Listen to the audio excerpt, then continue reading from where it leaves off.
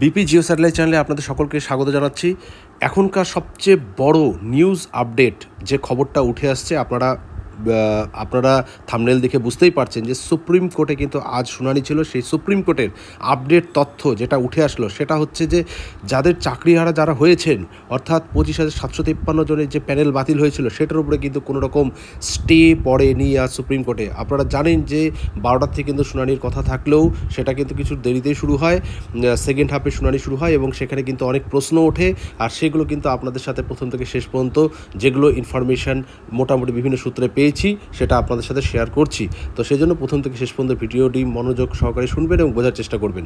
তা দেখুন, আজ মিসলেনিয়াস শুনানির ফ্রেশ অ্যাডমিশনের তালিকায় কিন্তু ছত্রিশ নম্বরে, যেটা আমি আগে ভিডিওতে শেয়ার করেছি, ছত্রিশ নম্বরে কিন্তু এই মামলাটা ছিল। তো মূল মামলাটার সাথে কিন্তু আপনারা জানেন যে তিনটা এসএলপি একসাথে ছিল, রাজ্য সরকার এসএসসি মধ্যশিক্ষা পর্ষদ এবং গোপীনাথ ভঞ্জ এবং অন্যান্য আরও কিন্তু অনেকেই ছিল, সেগুলোকে ট্যাগিং করে আজ কিন্তু এই শুনানিটা একসাথে, এই চারজন পিটিশনারের এসএলপি কিন্তু একসাথে উঠেছিল। তো যাই হোক, যেটা শুনানিতে প্রথমে যেটা প্রধান যেটা হয়েছে, যেটা প্রথম শুনানিতে যেটা দাঁড়িয়েছিল সেটা হচ্ছে যে দুর্নীতি মামলার যেটা খবর যে এসএসসির আইনজীবী রাকেশ দ্বিবেদী, কারণ আপনারা জানেন যে আইনজীবী কয়েকজন ছিলেন এসএসসির থেকে, তো এসএসসির যিনি আইনজীবী রাকেশ দ্বিবেদী আদালতে কিন্তু প্রশ্ন তুলেছিলেন যে আট হাজার জনের নিয়োগ বেআইনিভাবে হলেও তেইশ হাজার জনের চাকরি কেন বাতিল করা হলো?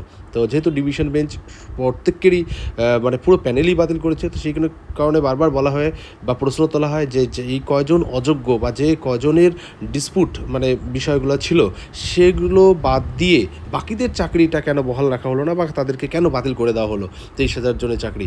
তো যখন এই প্রশ্নটা তোলা হয়, তখন কিন্তু প্রধান বিচারপতি, আপনারা জানেন chief justice of India Chandrachud sir কিন্তু তখন এই প্রশ্নটা তখন পাল্টা হিসাবে এটা জিজ্ঞেস করেন যে, বেআইনিভাবে নিয়োগ হয়েছে এমন অভিযোগ জানার পরেও কীভাবে সুপার নিউমেরিক পোস্টের অনুমোদন দিল মন্ত্রিসভা?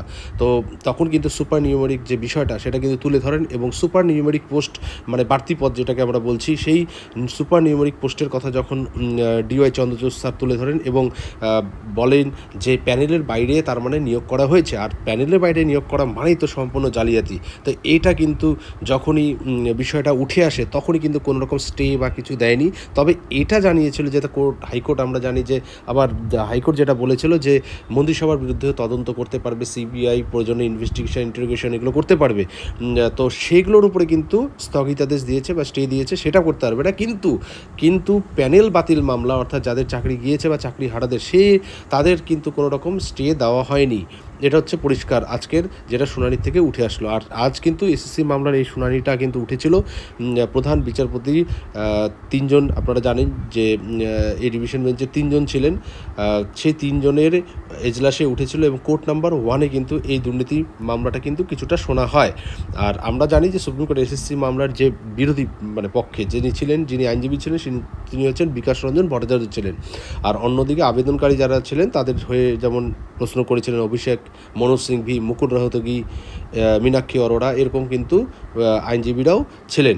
তো যাই হোক, আজ বিচারপতি চন্দ্রচূড়ের, স্যারের যে বেঞ্চ, সেই বেঞ্চে কিন্তু এই শুনানিটা চলে। আর তবে কোনো স্টে পড়েনি।